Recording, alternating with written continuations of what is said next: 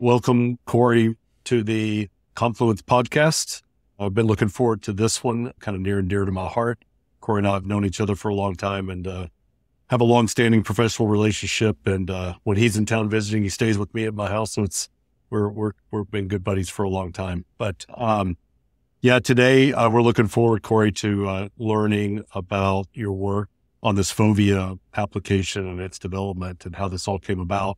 Just as a um, for the audience, there's been a lot of close work that ArchVision, the company that Corey uh, runs, has been working closely with Avail. We call them sister companies.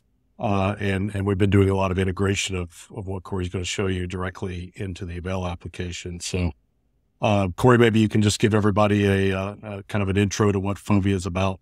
Thanks for ha- having me on, Randall. I appreciate it. And I always enjoy talking with you guys um, about everything we're doing here. Um, and Evan, good to see you.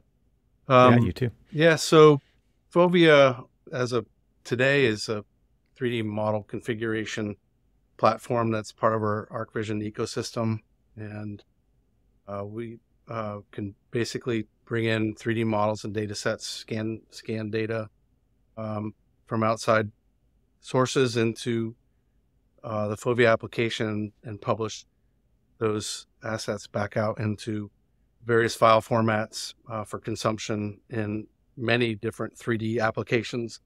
Revit being our key, SketchUp, Rhino, Blender, a handful of applications. Um, and it's uh, a tool really designed around democratizing 3D content and uh, assets and helping people to build or firms to build their asset libraries up in a big holistic uh, way. Uh, so, yeah, I mean that's a, that's the, the nutshell about Fovea. Um, I can say that uh, when we started this effort, we had really no plans to build exactly what we were building, um, but uh, it, it, evolved and, based on customer needs, customer requests, and uh, also just really uh, feeding off from the technological relationship between ArchVision and Avail and trying to integrate in different pieces of our technology with Avail to make just really great customer experiences around content, content creation, and content management, all um, and one from one very singular and holistic place, if you will. I think um, you know, with what I know, uh, uh, kind of insight into the Fovea app, the uh, the thing that seems you know mo- most most of the time when you would uh, want to take a piece of content and produce other formats uh, seen that you know over the last 20 25 years that i've been working in this industry it's usually you know i would call it a dumbing down. It's usually a least common denominator kind of of these translators into these uh, applications. And i know fovea you know fovea is different in that each of those applications and different kinds of file formats that it translates to, Corey and his team have, uh, you know, they understand the native capabilities of those applications and how to move that data into those native applications and around. So maybe Corey, you can talk a little bit more about, you know, what all went into that. Um, you know, even just more about your background, you know, on the computer graphics side and uh, how that's played into uh, really understanding this problem at a deeper level.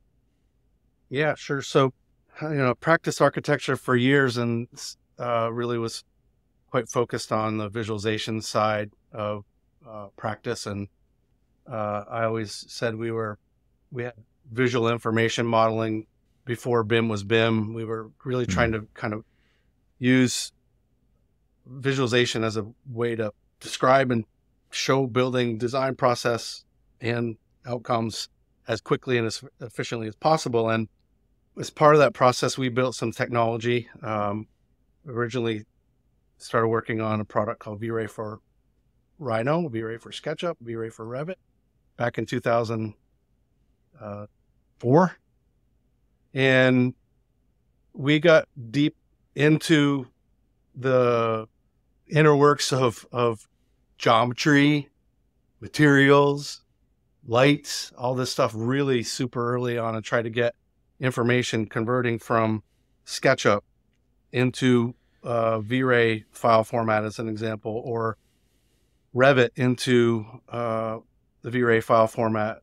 And so we just, we learned a lot about these um, applications APIs to be able to take material from SketchUp at the time in 2005, what you could get out of SketchUp for a material definition, um, a base color and maybe a texture map, but we weren't getting hyper, you know, detailed information about the materials like reflection values, refraction values, and stuff like that.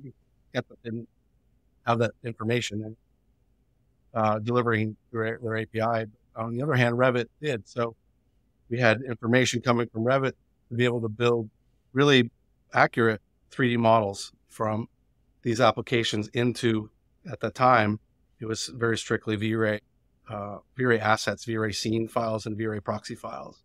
So that experience really set the stage for and helped me kind of set the stage, reset the stage for RPC.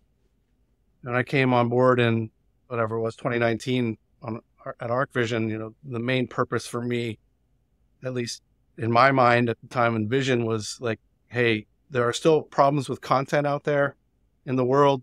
People don't get enough content. People don't have enough 3D models to access and get them in their project and inform their designs or, or explain their designs. So our ArchVision just seemed to be this platform where we could take these RPC, this RPC technology and ultimately transform it and bring it to a whole new level. And so that experience that I had with V-Ray assets and creating scene files and trying to navigate content from one application to another served as that kind of catalyst, if you will, for what we could do with RPC.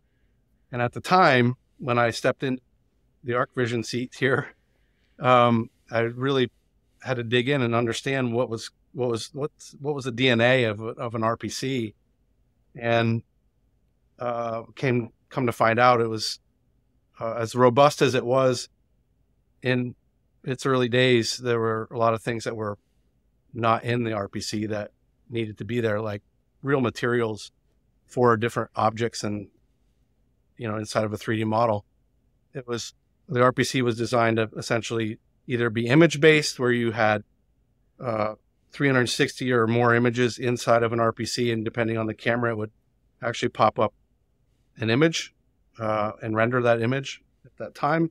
Or in a 3D model or 3D RPC, it was a mesh with uh, or meshes with textures baked on top of it. And the whole process of even getting those 3D RPCs was was pretty cumbersome. I mean, we using 3D Studio Max, going through a bunch of very technical things, uh, steps to get to uh, an R- a 3D RPC and get it out to the, you know, t- to your user base. And so, really, as I s- stepped into this role, you know, I try to understand like we, we don't want architects and designers learning all this technical stuff. We really want to be able to kind of come back down to the heart of what RPC and Randall and ArchVision design, which was like ease of use, drag and drop, get everything inside of that file and just make it easy for people to, to consume that piece of content and render, period. So I mean, we had to do a lot of dissecting of the RPC's file structure and technology, uh, and then rebuild on top of that. And so, uh, looking at all these lessons learned with V-Ray file formats and um, other, you know, file for- formats like FBX or OBJ and uh, files and things like that, uh, coupled with uh, looking at how Mental Ray was doing things and how Corona Render and all these other rendering engines were producing materials, geometry, how was all this stuff transporting around. We had a lot of research to pull together to try to come up and say we want a, a really new single source of truth of technology underneath the RPC file format. So, Corey, can you explain what an RPC is for those who don't know? I'm sure almost everybody who's listening to this or watching this has seen one, but they maybe don't tie those two things together, what they see with RPC. Sure. So RPC is a file format. Uh, R the R stands for rich photorealistic content is the acronym, and uh, these are assets that started out really just entourage cars, people, trees.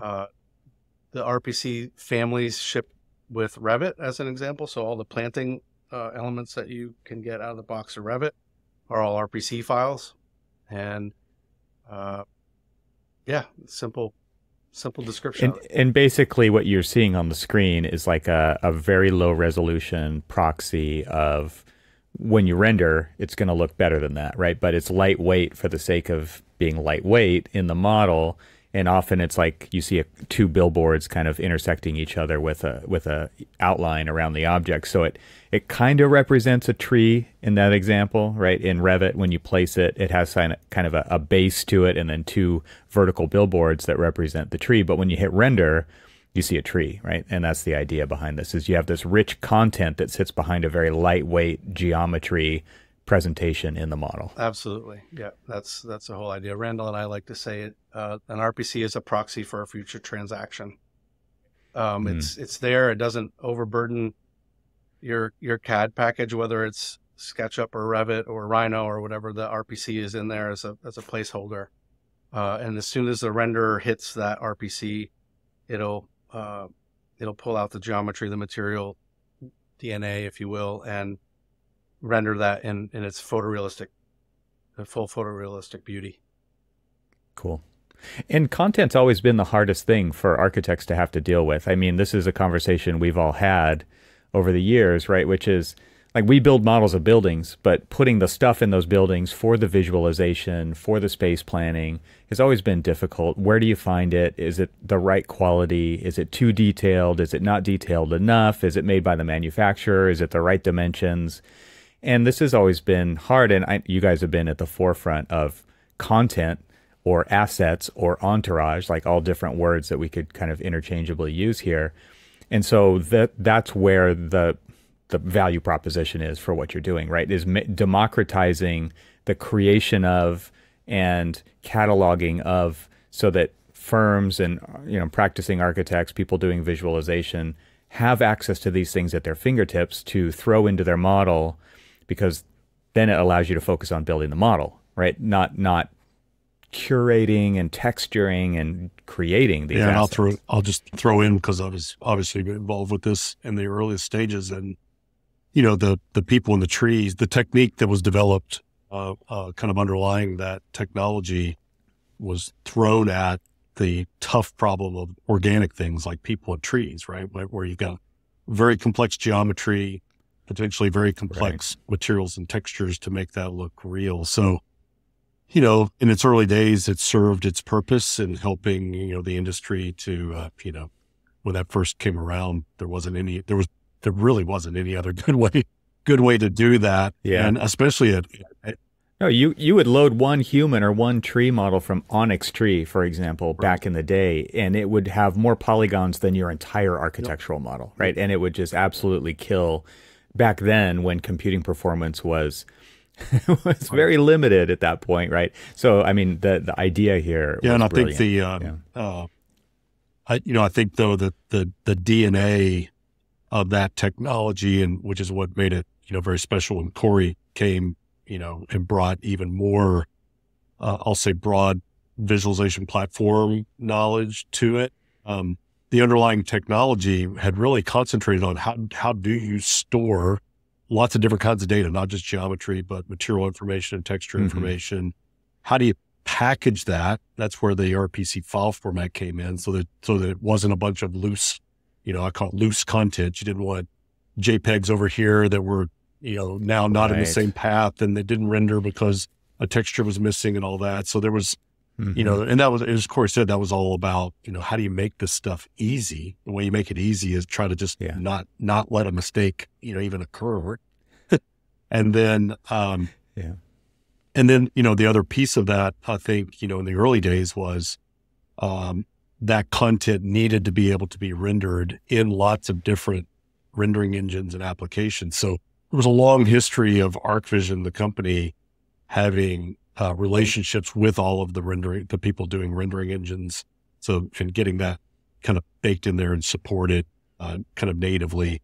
And as Corey said, even you know with Autodesk, I think they began shipping that Corey what 2010 or 11, whenever the tree and foliage like that, solution yeah. started shipping with Revit. So it's always been kind of in the DNA to do all that. I think what's you know special about what Corey's been doing now is you know one I'll just say modernizing the definition of the storage of that information inside the file and and those capabilities. But then, you know, looking at, you know, can you, um, you know, maybe Corey, you can talk a little bit more instead of having to have those companies um, support the RPC file format in some special way. What uh, the team at ArchVision's been doing with the Fovea application is saying, look, we can store it, all this data in its highest form, but we can spit it out into a native form that that application wants to without losing or dumbing down quality. So, you know, it's it's a little bit of the opposite. Instead of everybody trying to consume one file format, it's like, look, can we get the highest level of information and then map that and translate it into the native formats that each of those applications wants to know. So if you're trying to use it in Enscape, Yeah. it's going to know what to do, or if you're going to use it in V-Ray or one of these others. So, give each package what it is expecting. Before you do that, Corey, I just can we just share like how many nightmares we've had where we've sent the job to the render farm overnight or for days at a time to come back and find that that one material, that one diffuse material or that one bump map or whatever was not there, right?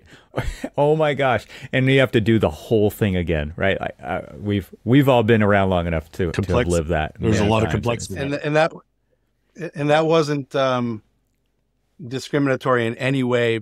Like, didn't matter what the file name was or the file size or what the texture map was for. If it was missing, it was missing, and it broke everything. Yeah. So or some weird character in a file name Sure. or something like that. It was just like the littlest things. And it was like, oh my gosh, it was a learning experience every Yeah. time. and it's still to this day, right? You can download um, manuf- you know, I see the manufacturer content all the time. Pull down a Revit family you know, from a manufacturer. Geometry will come in, right? It's in that RFA file. Missing But as soon as you hit render and you Yeah. hit the rendering engine, it's like missing these maps. It's like, why did, you know, one, maybe they didn't even come down with that file off, you know, it was zipped up or something. So there's just, there's just still a lot of complexity in the industry around this. And, uh, you know, but maybe Corey, you can talk more about what you're trying to do with the Fovea, you know, not sitting in the Avail application. Yes. So kind of kill a couple birds with one stone here. If I zoom out just a little bit and just talk about the other part of RPC, which is yes, there's the content, but the the technology that's that Randall you were alluding to, like there's an API, a C API behind RPC. And originally that C API is what our um, our partners were using. So folks that on the Revit team or or um, you know there was Luxology, um, a handful of other vendors, MicroStation. You know, we had those companies coming and working with us using our APIs at that level to build integrations into their applications to support RPC. And part of you know my approach with this was to again even try to look at the platform the the programmatic platform that we had and figure out and try to design something that could become much more friendly web based uh, web api based stuff as an example. Um, more accessible. People might be able to see someday see rpc as, as an, in an open source format and be able to use python and other languages to be able to use our platform in general. And so not just you know i wasn't i'm not just looking or haven't been just looking at the content as being democratized but also the technology that wraps around everything we're doing. And part of our journey was at the beginning was we had to take rpc technology from what used to be ArchVision called ArchVision Dashboard, which was a content manager specifically designed for delivering RPCs from the cloud to users before cloud was cloud, probably. Um, and take that experience and uh, keep as much of it intact as we could and bring it into Avail and integrate our content delivery, uh, everything from thumbnails to the downloads into preview, being able to preview the models. All that we had to build a bunch of different technologies around our APIs and start to democratize the C stuff into other languages so that uh, we could talk with Avail, right? And that started the the really the in my mind that's where we started to have to build the foundation of Fovea before Fovea was Fovea, if you will. Um, so the data flow, the uh, not just the geometry, not just the textures, but there was meta. There's metadata involved with all this stuff. There's special GUIDs around the the assets so that we can track them and understand where they're going and things like that. So ultimately, there's a lot of engineering around making this simple and simpler, not just from the content consumption and, and use, but really, you know, forward thinking. Let's get a bunch of content creators, a bunch of main, building product manufacturers involved with our APIs and be able to use them to even translate and, and deliver RPCs of their own content into Revit and Rhino and SketchUp and wherever, as opposed to the broken process, as an example, Randall, what you're talking about, downloading something from the manufacturer's site and not getting the texture maps. We can deliver, and we have the platform now, you know, underneath the, our ArchVision RPC technology to be able to deliver single source of truth assets and give people simple APIs to access that to um, to be able to deliver their own content. Corey, maybe you can uh, want to share your screen and can you show what uh, Fovea just ends up looking like uh, in the application? Fovea comes in three different forms right now. Um, we've got a web app version, iOS app, and then this version here, which is inside of Avail, which is our latest and greatest. So what you're looking at here is uh, Avail Desktop. Uh, on the right hand side, you'll see the Fovea window here just sitting here. And I'm going to just burst on the scene and do a quick show and tell of why is this important and what we're really what the power of a Fovea is. I can grab a model that's part of the Fovea publication and literally just drag and drop it directly into this Fovea canvas here that's embedded inside of Avail. And this this is mind blowing to me even in that we're in a content manager and we're in an application in a content manager where we can manipulate 3D data. I can grab a material on here and whatever, let's just say we wanted that to be black. And I can change some of the other material parameters in here. So we've got the full material editing capability for the asset right here. And I can make that maybe more shiny and do a couple operations there. And then very simply, there's a publish button. I can give this a name. This is where I start to put some metadata on this asset, chair, whatever. Give it a furniture category, add a tag, and um, let's just uh, modern as an example enter. And I won't get in the weeds on this at just at this very moment, but this is what we were talking about earlier, um, where the RPC has a, a, proxy representation, and as part of the publishing process, you've got you have the opportunity to choose different um, proxy mesh uh, meth- methods and what the representation will be in your CAD package. Uh, you can even do some uh, downsampling of textures and mesh simplification and optimization here. So if we know this asset's going to end up in Enscape or something like that, and we need to do some decimation on this, uh, we can, let's say, make this uh, uh, target mesh count down to 6,300 and change triangles, and I can hit publish. Um, so we're grabbing this this 3D data, the instructions behind it, sending it up to our cloud services through our APIs, um, and publishing that piece of content. And what's great about the integration that we have with Avail is that piece of content is going up into the cloud processing, metadata is being stored, and at the com- point that the processing is completed in our in our uh, in our web services, we'll now push and synchronize that piece of content directly into um, this this Fovea channel that's sitting here in Avail. So I'm not just making content and editing or creating content in Avail through the Fovea lens. I'm actually also putting it in a managed state right away. Okay.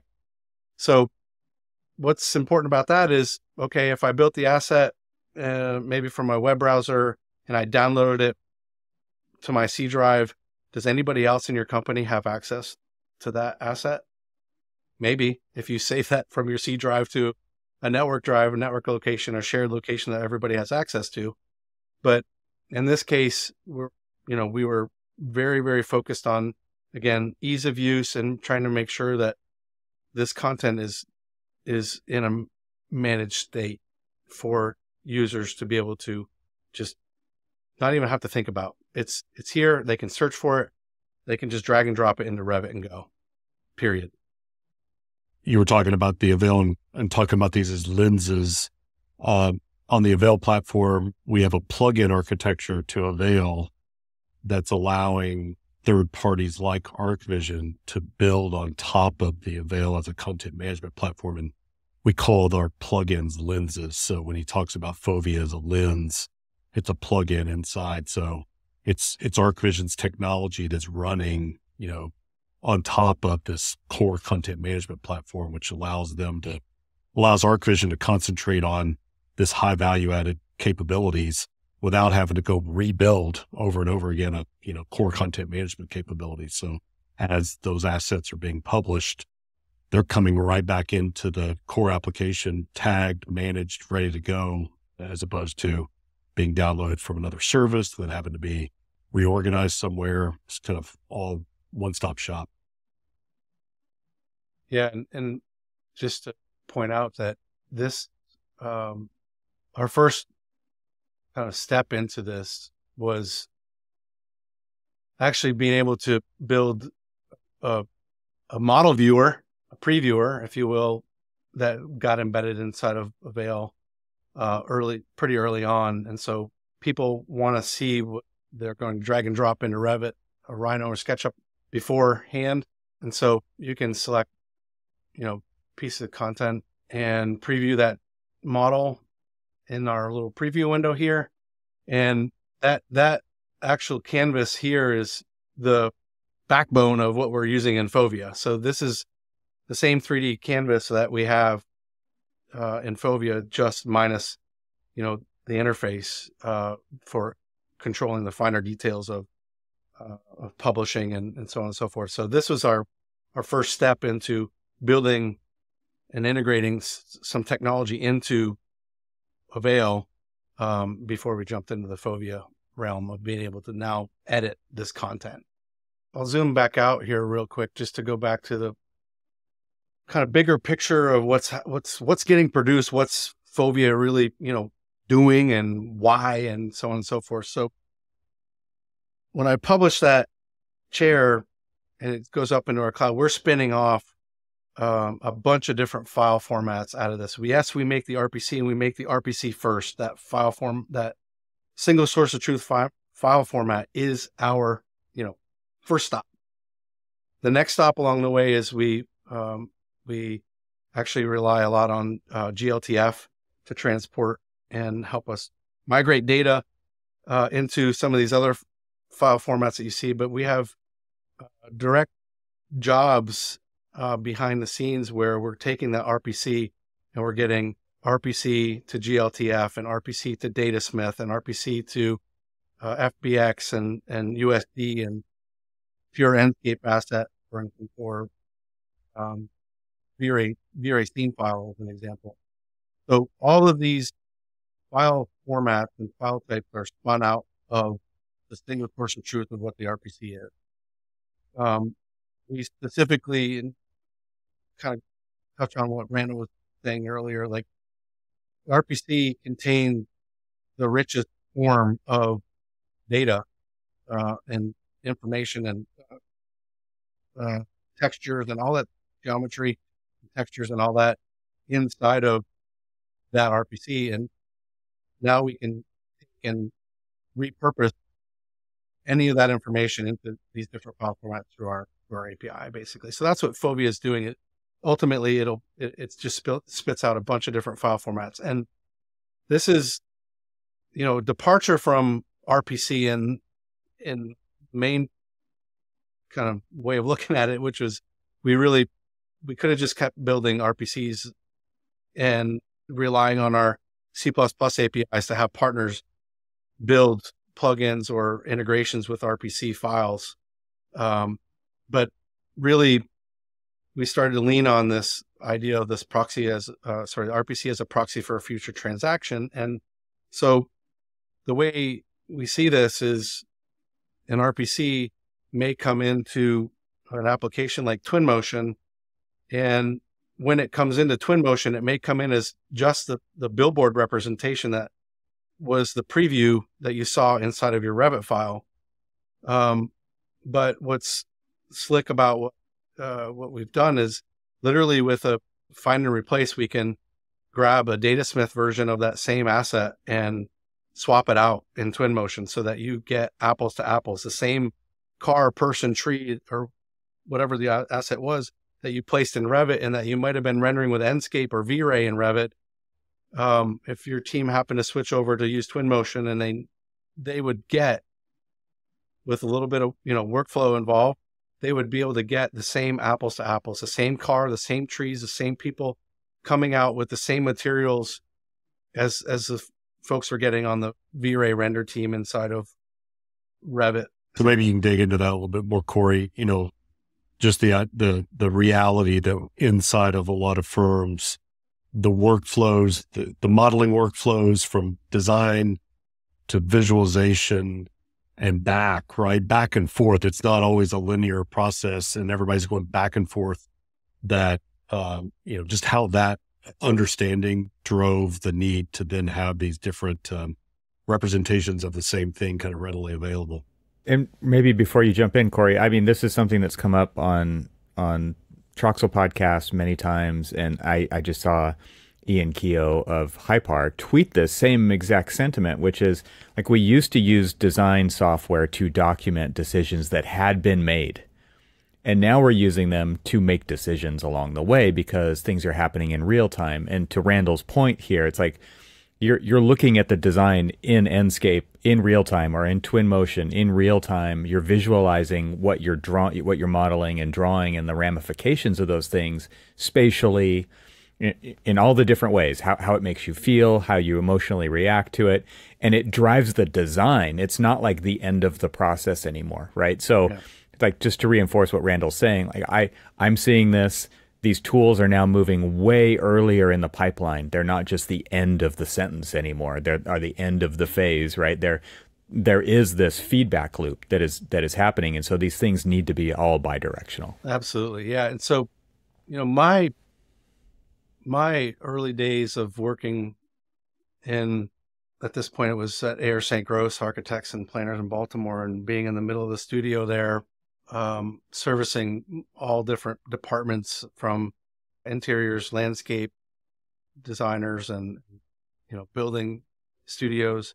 We had to get information from the design teams and designers into a place. Uh, in our case, it was at that time it was it was 3D Studio Max, and produce the visuals, but also at the end of it, be able to translate what we put in the visuals back to the design team so the design teams could document what we put in the visuals, right?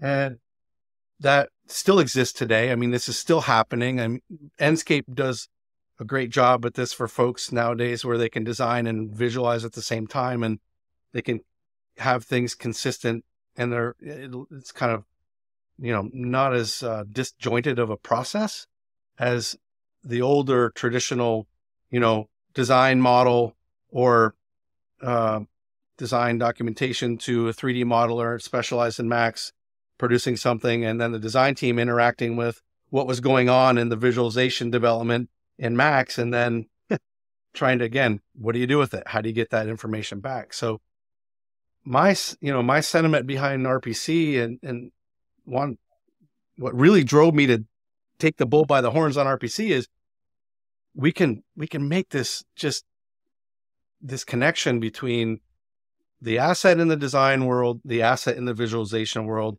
and hopefully someday be able to make that connection back from the visualization world back into the design world.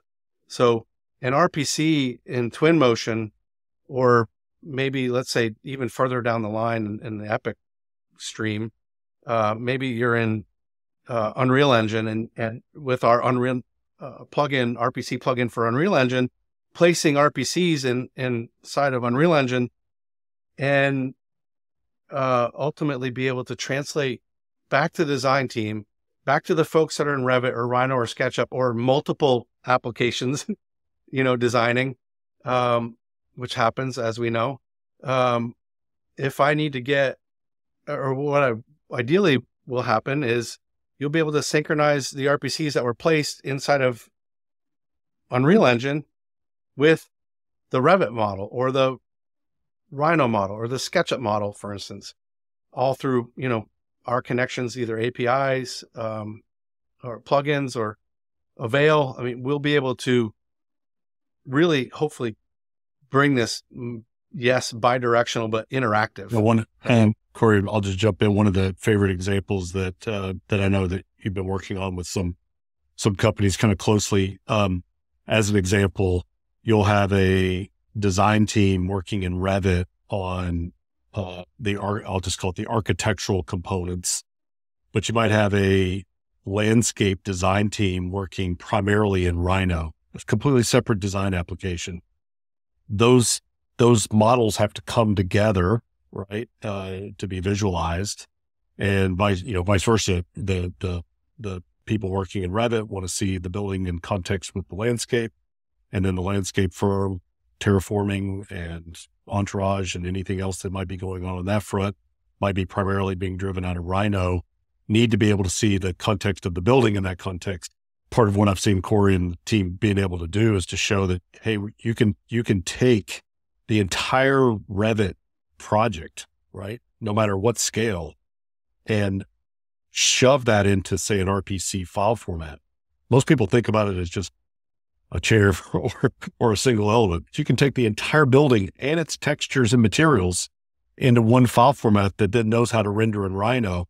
Well, now you get one proxy object that represents the building over in Rhino that the uh, landscape team, right, is able to see. And when they hit render, it flows into the rendering engines and they can see it. So maybe I'm stealing the thunder, but Corey, maybe you can talk just a little bit more because those are very powerful, complex things where those teams are respectively working with each other, but that stuff needs to come together and be visualized all along the way. Yeah. I mean, the, the big, one of the bigger projects that I worked on uh, back in the day was really re- heavily reliant on being able to aggregate different data sets into one master file and um, be able to produce a animation or a video or a film of, of, you know 10 30 buildings in a urban context as an example. And those workflows that we went through back then were very similar to what we're kind of being able to do now with the rpc which is create a proxy, create a, a container file, bring those proxies into the container file, hit render, and voila, you've got proxies from an outside source into the container file, which is maybe in, like you said, Rhino, or it could be in SketchUp. And you pretty quickly can get uh, all all these data sets in and literally back out in in a very fluid way. I had no idea that you could shove an entire project into an RPC gonna, file. We'll have to and, show you, Evan. Um, you know that we're some of this is some of the uh, Fovea app has integrated uh, AR capabilities into it. So mm-hmm. I'm telling you, it's pretty slick. You can take, I can be in Revit and I can, I can hit a button, can click one button, shove an entire project. I did it with this new sample project, right? That uh, that that Uh-huh. Harlan, uh you know, that we did the podcast with earlier. Literally within Right. a minute, you've got that entire project shoved through Fovea, and I could pull it up on my app and pull it up in AR And place it. and walk through it. Nice. That's full scale, like in the back parking lot, and be walking around inside that building. And uh, it's yeah, you can you you can shove individual objects or entire projects through this pipeline, and it uh, it all works seamlessly. It's a paradigm shift because I mean we've always known RPC to be these objects in the scene, right? And so you're basically talking about changing users' mindsets here too about what RPC can do and what it's used for and the different use cases. And so as a developer, those are the kinds of things I assume you're also thinking about when it comes to how you market this and talk about it and reset expectations around something much bigger than anybody is kind of coming at it, just expecting it to be the next small iteration on something that's been around for quite a long time. This episode is made possible with support from Chaos Enscape. This is the perfect time to set good intentions and resolutions for the months ahead. Whether you aim to solve your design challenges faster, run your projects more smoothly, make quicker decisions, or share immersive walkthroughs with the click of a button, here's some good news. You won't need any resolutions. Chaos Enscape has the best 3D workflow solution. Chaos Enscape is the industry leading real time visualization plugin that is 100% fast, 100% easy, and fully integrated into your favorite design tools. It is the trusted choice of over 500,000 monthly users across 150 countries. Starting today, you can get a 20% discount on fixed and floating annual licenses. Just head to chaos enscape.com and use code RES24 at checkout. That's chaos enscape.com using code RES24 at checkout to supercharge your design workflow. Thanks to Chaos Enscape so much for their support of this episode. And now let's get back to the conversation. Yeah, so this is, for instance, that's the um, the Snowden Towers Snowden project, Towers. right? So Nice. this is, now we're not trying to visualize and render something. This is the asset, right? So now we can take this as an RPC, whether it's um, a bounding box of this or uh, a simplified mesh or the old billboard file, uh, sorry, style of RPC. We can drag and drop this inside of Revit and start, or sorry, Rhino. The source is Revit.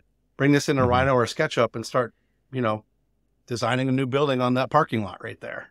Mm, Right? Um, or, or you know, just to emphasis on the the Fovea, that could be that very same source model that started in Revit with all the materials and textures can now be available in USD or brought into Datasmith right into one of the game engines or somewhere else. So, and uh, but there's a connection between all of those, so you can kind of bidirectionally, you know, get back to the right native format that you want, right in in whatever application that you're wanting to, you know, work in.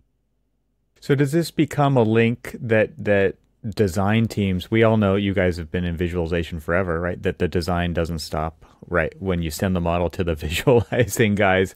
That that's just the latest version. It's not the it's not the, the where it's going to end and and is there a way to to that this kind of helps solve that problem which is like no i really need your final model on tuesday. That's the last day that i can accept your final model. Does this give people the ability to kind of continually work up to that deadline in in less of a export import kind of a manner?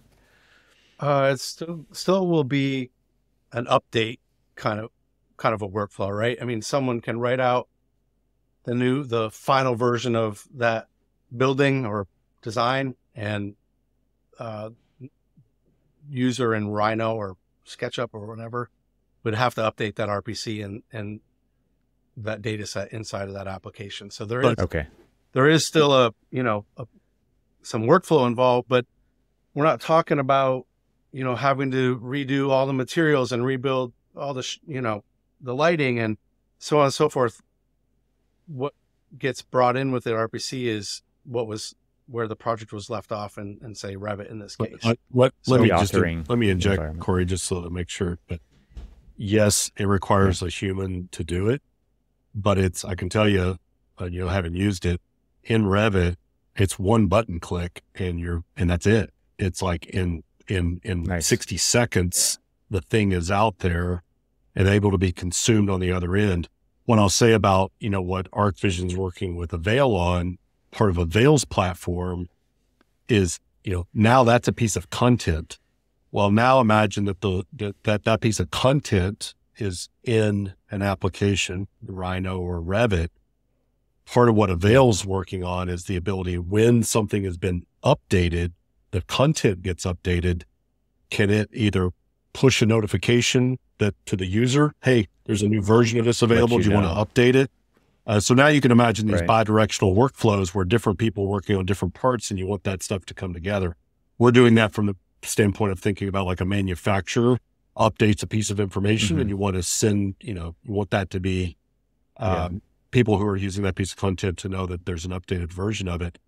But I also think that it's laying the groundwork for that. You know, you could be on a nightly basis you know, publishing the updated version of the Revit model for the day.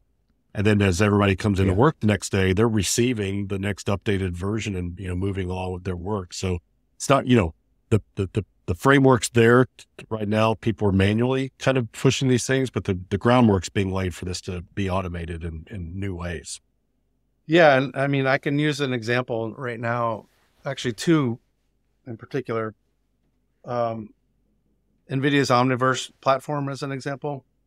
It's been kind of a a great testing bed for us, and and we we're gonna we'll be talking more about this in the next few months. But what that platform has allowed us to do because it's open developmentally, and we can develop a lot around our current APIs and do a lot of things that we can't do in Revit specifically or Rhino specifically or whatever, because th- those applications might have lim- limitations on APIs and how geometry and information comes into those applications.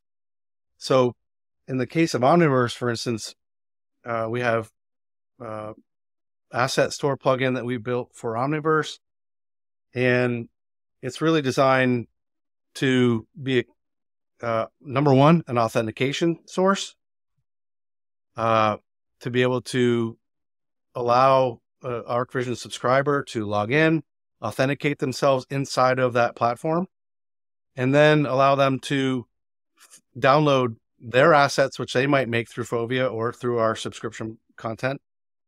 But what's going on is in in Omniverse, if someone brings in a Revit file and there's an RPC in it, uh, that what we get inside of Omniverse is again a proxy object that's transferred from Revit, the Revit file into the Omniverse platform.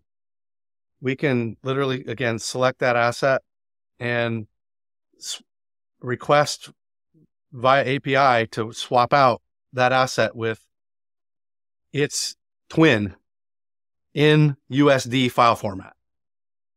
So it's a targeted file format for a targeted use case in, in that application. Uh, it's it's center point reference center reference point is the RPC and the RPC GUID, right? That's really making that connection, right? Um, and then even now, uh, literally, we'll have a development progress meeting this afternoon. I'll show demo this integration that we're working on with Blender, which again open source uh, platform and able super easy for us to get around uh, programmatically and build tools around and communicate with our API, with Blender's API, and literally take a Revit project, building project like Snowden here, and get it into Blender in two two clicks and a drag and drop.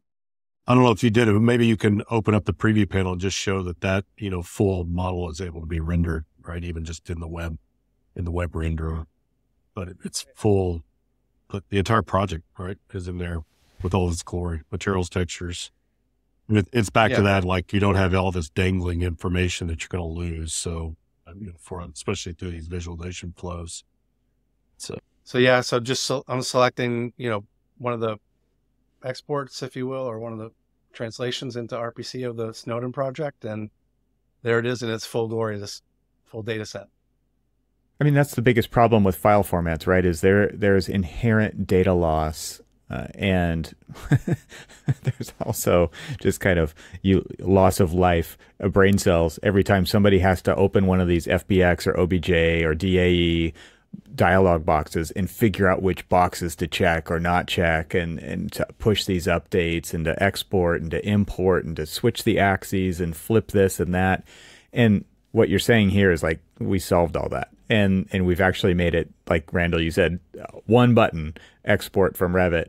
That's a big deal. How much time has would think back to how much time has been spent in those dialog import export dialog boxes and how much data has been lost through those translation processes over time in the architectural field alone it's enormous right and and so this this is a big deal actually yeah i mean it's it's an ongoing exercise right i mean we've we've constantly have to evolve the communication of these assets across these different file formats you know one renderer will treat one texture map one way and another renderer will treat it completely the opposite yeah. way as an example yeah. right and we've got to we got to learn this whether learn it through the artistic means that we have of having to have done it before or our users doing it daily um, but those are the like the little nuances that we got to capture and figure out okay how does a transparency map translate differently between v-ray and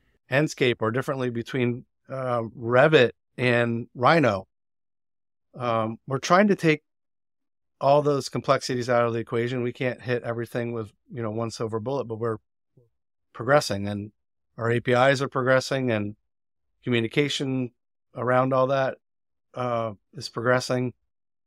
So, at the end of the day, you know we've got a work cut out for us still to to remain agnostic with the technologies that we're building so that we're not dependent on a particular renderer or dependent on a particular CAD package uh, or 3D package, but that we can just hopefully let people share and consume and uh, build. One of the things, uh, one of the things, Evan, that I've just been excited about from Avail standpoint of seeing this evolve and and you know now making its way out in the market is this idea that inside of inside of a firm, especially you know a firm of any size, I always refer to it as like you have people at the edges of the network, you people at their desk working and building. Right, in the end, those are the that's where the the work's being done.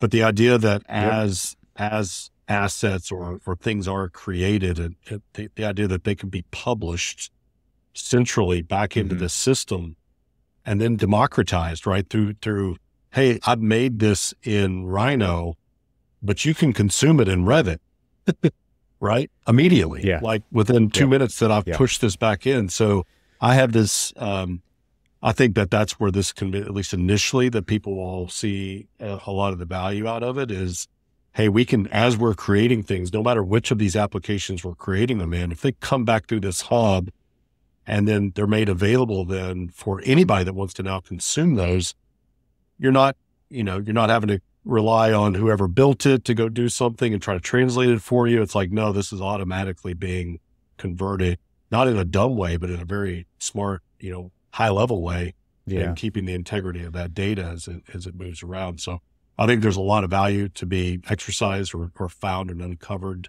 just through that uh, part of the process as well. I think also one of the things that this allows through this democratization process and through this kind of single source of truth, but but multiple outlets, is that there's a lot of tools in the toolbox, and you want to be able to use the right one for the job. And that doesn't mean you're going to use the same tool on every single job, and it may even mean that there are different people on the same project using different tools to do different things. And it's nice to have the ability to pick the right tool for the job, but still know that you can get all your stuff in there. So if if you've got a Viz person using Max with V-Ray, and you've got another person doing interactive content in Unreal, and you've got a designer sitting at their desk using Enscape for day-to-day visualization, you can still easily get the same content and models to all of those people in a very simple way. I mean that that to me is there's a huge potential there to really unify workflows but still give choice to the people who want to be able to make that choice of what tool to use for what job.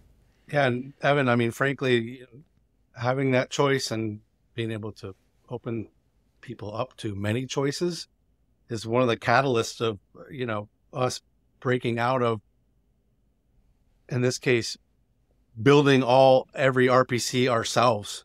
Right? Like mm, originally mm-hmm. when this all started we were we're producing every rpc and that wasn't something that i wanted to subscribe for and and for the company to to commit to just creating content constantly. And so the first you know really the first you know steps into Fovea were like, hey, wait a minute, no, let's take our old ArchVision Creator technology that we had and make it m- more accessible, cross-platform, cross-device, and let people have choices of which file formats they want to bring in, not just pigeonhole them into going into 3D Studio Max and doing certain workflows and getting that data out into an RPC. Like, okay, let's ex- open this up as much as we possibly can. If you're a SketchUp subscriber and you swear by using um, 3D Warehouse to get your assets, but and and you need to get a chair from Warehouse into Revit, it's two clicks from our our setup. Grab the file from Warehouse, drag it into Fovea, publish it, drag it from Avail and back into Revit, and you've got that chair from your your go-to library directly into yeah. Revit. Boom, done. Right. So it we're kind of we try to keep our blinders off and let people use any of these options out there to create their own content. I don't want to make content anymore, so that's you know that was really the one of the catalysts, right? Um, it makes a lot of sense because you're you're almost definitely not going to make the exact content that somebody needs anyway. It's insatiable. so it's, it's insatiable, it right? Journey. Right. never. Yeah. So I I've got this is kind of latest and greatest, and I'll just show um, what we're doing in Blender. Again, Blender's this you know open source platform, easy for us to develop around, so on and so forth. So we've built a publisher for Fovea directly in Blender. So I'm logged in. Uh, I can add a file name here, so on and so forth. I'm I can set up my parameters just as if I was inside of uh, Avail and Fovea, like I showed earlier. Um, but you know what I have here is now if I'm get a scene from my Blender guy, uh, I can do something like I can isolate the ch- chair from that scene, right? And I can give this a name, chair. I can give it a category, furniture, chair, tag, um, podcast. As an example, again, I can choose my my uh, proxy type, whichever way I want it to bring in. Uh, billboard published to Fovea. I'm going to generate my preview of this. So I got a preview thumbnail of it. so the thumbnail goes along for the ride. Uh, I'll see this in Avail or wherever that RPC or any of the file formats go. And from here, I can publish to Fovea.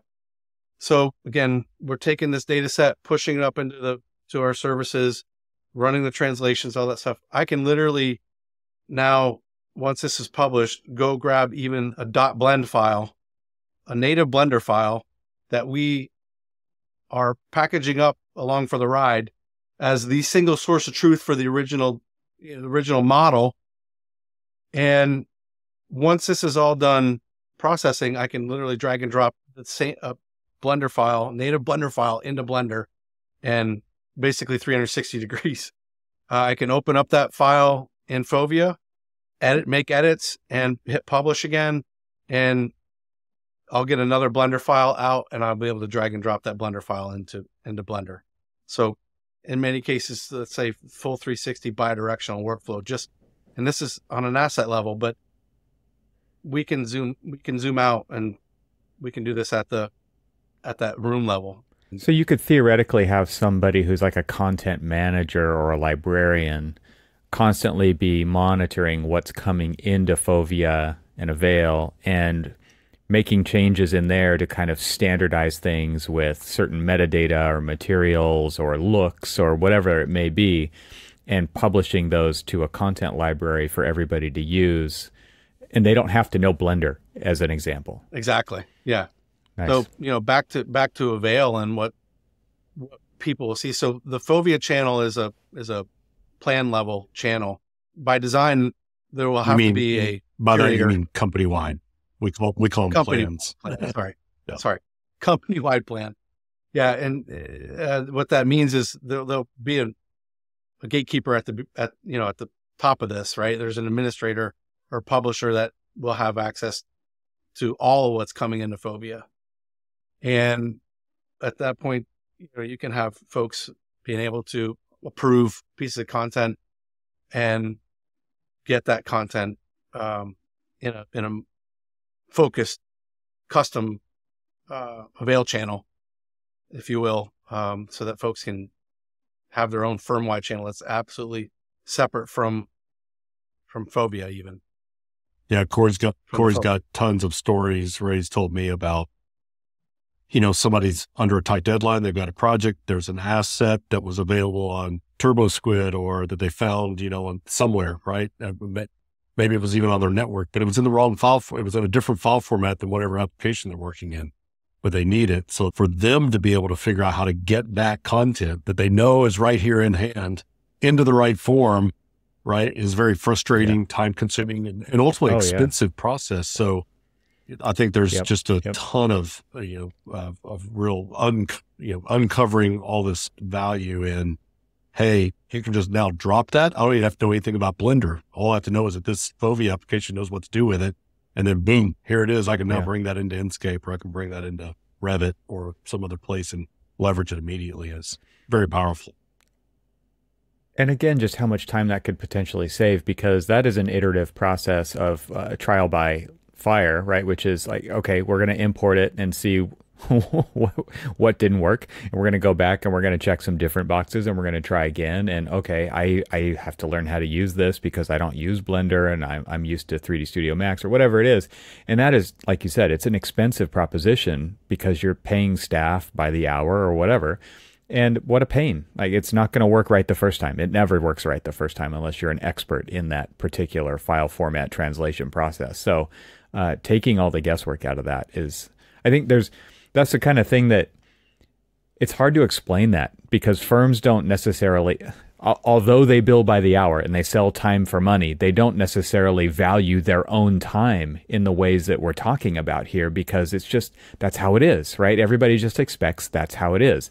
And when you can actually show that, okay, we, we took this thing that normally takes like literally 40 minutes for somebody to figure out how to do it right the first time because they don't use the application every day and X, Y, and Z reasons. And we made it take 20 seconds. Like that is, that's in, that's a big deal inside of a firm. Yeah, now multiply that by however many, you know, the, the bigger the firm, how many times is that happening across Yep. or across the year? Right. I can tell you guys, you know, I just got off a call and um, the, the gentleman's trying to get assets that he scanned with his iPhone from Polycam into his Revit project. And, you know, I got him access to our iOS app beta and just did a 15 minute tour of how things work. Drag and dropped an RPC of his Polycam scan from Avail directly into Revit, and um, I, he, I mean, honestly, he couldn't believe that it was that that easy. Um, it was, but I also couldn't believe like how well the scan data was coming in uh, that he had captured with Polycam and how powerful Polycam was. So I'm sitting there thinking to myself, you know, we zoomed out before, well before we made the iOS app and made a decision that we weren't going to get in the business of making a, a iOS scanner, and that what Mhm. we wanted to do was actually embrace as many of the scanning apps as we possibly could in the file formats that they deliver, so that you can get those assets up into Fovea and into Revit, Rhino, SketchUp, or wherever as quickly as possible. And you know, he happened to be a Polycam user who's had a bunch of scans, and he's like, "I need these, this bike." scan this bike. I want this bike in in Revit. So the processing time was probably the you know the longest part, or uh, the most built up anticipation.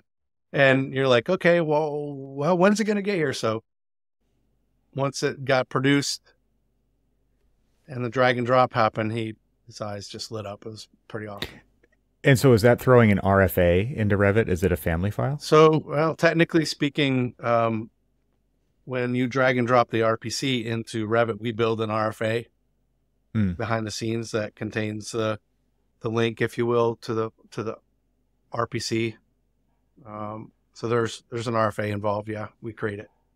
When we create that family, we take metadata from the asset, so the tags and category of the asset and things like that, and we actually try to put as much of that into the family as we can. And if it's a furniture piece, as an example, we make sure that that RFA that gets made is actually a Revit family, uh, furniture family, not just a you know generic um, entourage family, as an example. Right. So nice. We try to try to do that. We can't do that for every Revit category because the way things are in Revit at the moment. But I know in the future we'll be able to do something pretty slick um, around that uh, to be able to keep keep these uh, these assets pushed into the right Revit category, as an example.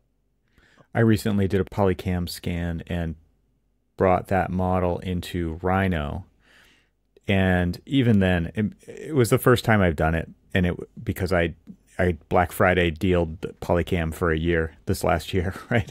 And I I wanted to play with it, and so I did a room scan model and brought that into Rhino, and just getting the scale right and everything is still it's still an issue, right? Like just getting stuff to show up how you expect it to just show up immediately is not how it actually works.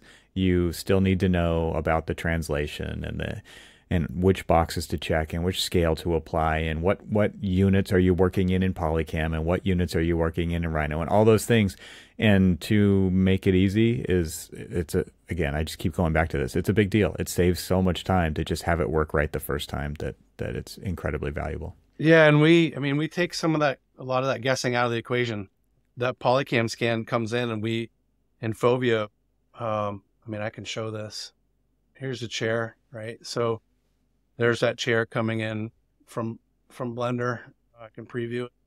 Um, that's not a slouch of a model either. I didn't do any decimation or uh, optimization of that geometry at all. So it, it's you know there's blanket there. It's been deformed in in the application, the pillow, the, the, wrinkles, all that, all that deformation. I mean, it comes at a cost polygonally, triangles. Um, but again, we can decimate that um, to some degree. Uh, not, you know, we don't have amazing uh, decimation tools um, that can completely rebuild all the meshes, but, um, but yeah, this is that's a chair.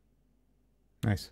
And again, this is ready to just drag and drop in Rhino Revit. So in that amount of time, right, you went from maybe one format, native format that was completely unavailable to you to I can now drop this into any of the applications that I'm used to using.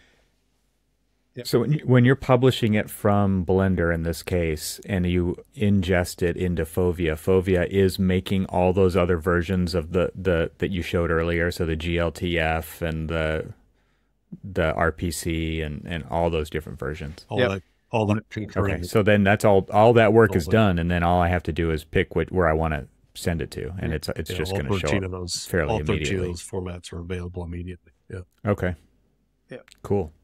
So again, if you got a Blender guy who's great at modeling, and you your let's say visualization tool is Unreal Engine, you can use our RPC plugin in Unreal Engine, or you can import in a Datasmith file, which is part of the output as an example. Right. Very cool. So actually, if I if I filter down through here I, by our application, so application, Unreal Engine, and chair. Um, hmm. you know, you can see I've got a handful of file formats that are pulled down here. I've got uh, FBX, OBJ, RPC, and UDataSmith. Those are all the file types that you can import into Unreal Engine out of the box, right?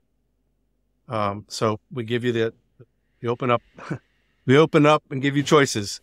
If you want to bring in an FBX, by all means, if that's your workflow and that's the way you prefer to work, then grab the FBX and go. Well, I know there's a ton more that we can get into on this, but I think we're going to uh, plan on kind of putting a wrap on this session and then follow up with maybe a deeper dive, Corey, assuming that you're willing to uh, kind of get into a little bit of the behind the scenes of some of the uh, some of the decisions. You know, you, you started out saying that even even where this ended up was not where you originally you know envisioned, and and the path kind of took took you there in in different ways. So uh, maybe we can end up uh, you know coming back to this in another session and digging in a little deeper about what some of those decision processes were. Absolutely, my pleasure.